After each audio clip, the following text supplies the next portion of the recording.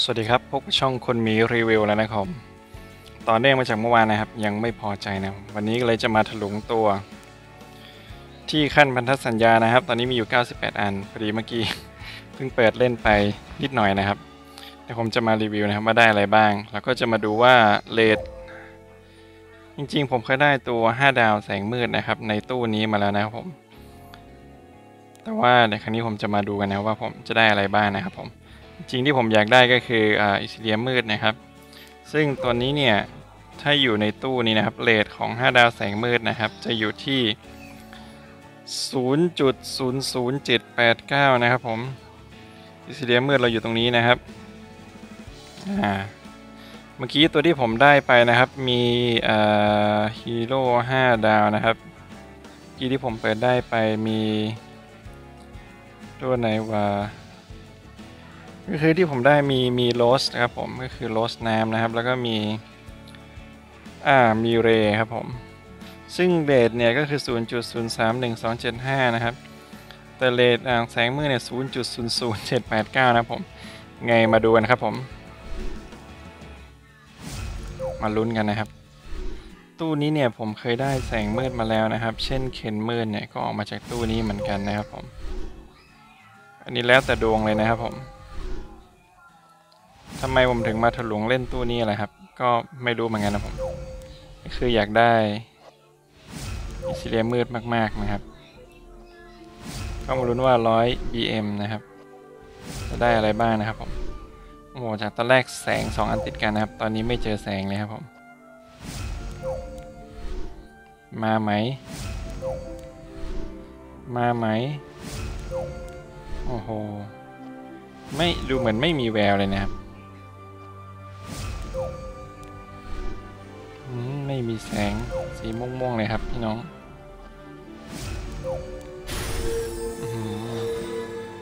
อันนี้ได้อะไรบ้างมาดูครับละครสีดาวนะครับอ๋อได้อาคาเทสครับผม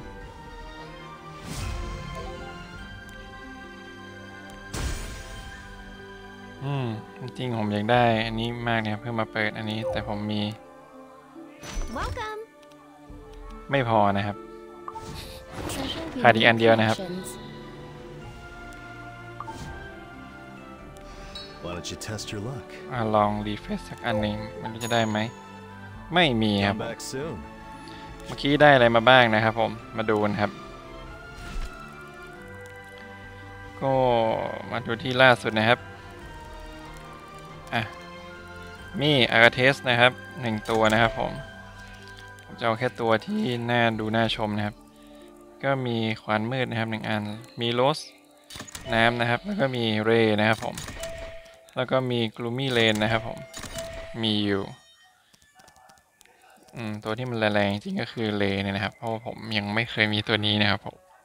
skill ก็ถือว่าค่อนข้างดีครับผม skill แรกนะใบสั่งยานะครับก็คือโจมตีศัตรูนะครับ แล้วก็รับ debuff หนึ่งชุดนะครับของเพื่อนเรานะครับผม อันที่สองก็คือมอบ barrier นะครับผม แล้วก็ barrier จะเพิ่มขึ้นตามสัดส่วนพลังชีวิตสูงสุดของเป้าหมายนะครับ skill ที่สามเนี่ยก็คือจะสร้าง เอ่อไม่เอาดีกว่า คือลบล้าง debuff ทั้งหมดของพันธมิตรนะครับทำแล้วก็ถ้าไม่มีภูมิคุ้มกัน 2 turn นะครับผมหลังจากนั้นจะทำการฟื้นฟูพลังชีวิต จะขึ้นอยู่กับเอ่อเลือดสูงสุดของเป้าหมายนะครับผมอะถ้าดูปลุกพลัง skill ที่ 2 นะครับแสงนะครับจะเพิ่มขึ้นก็คือ ฟื้นฟูพลังชีวิตนะครับผมแล้วก็ barrier 2 turn นะครับผมจากตอนแรกแค่มี barrier อย่างเดียวนะครับผมตัวนี้ก็ถือว่าเป็นตัวที่ดีนะครับ เหมาะสำหรับการลบล้าง debuff ได้ค่อนข้างดีนะครับผมส่วน artifact ที่แนะนำอันนี้ผม Ray เนี่ยจริงๆ อาจจะไม่ถึกถึงขนาดเป็นตัวแทงนะครับ แต่ว่าถ้าลบ skill ได้เนี่ยก็อาจจะต้องเน้น artifact ที่โจมตีธรรมดา แล้วเพิ่มเลือดนะครับ จะจะเน้นกันนั้นมากกว่านะครับผม แต่ว่าจริงๆ cooldown skill ของมาดูกันครับว่า cooldown skill เขาเยอะหรือเปล่านะครับ มีลด cooldown ไหมไม่มีลด cooldown นะครับ อ่ามีลด cooldown ที่ skill 3นะครับ มาดู cooldown skill 3 4 turn นะครับ อันนี้3 turn นะครับหนึ่งนะครับ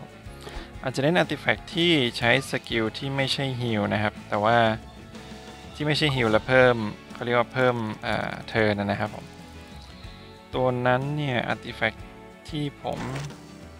artifact อันนั้นผมใส่กับตัวไหนไม่รู้เดี๋ยวผมดูก่อนนะครับ ถ้าจะไม่ผิดน่าจะเป็นหนังสือ เป็น artifact สี่ดาวนะครับผม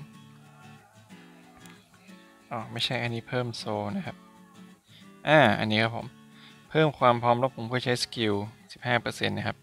ไม่ใช่ skill ที่ไม่โจมตีศัตรูนะครับผม อันนี้ถือว่าค่อนข้างดีนะครับผม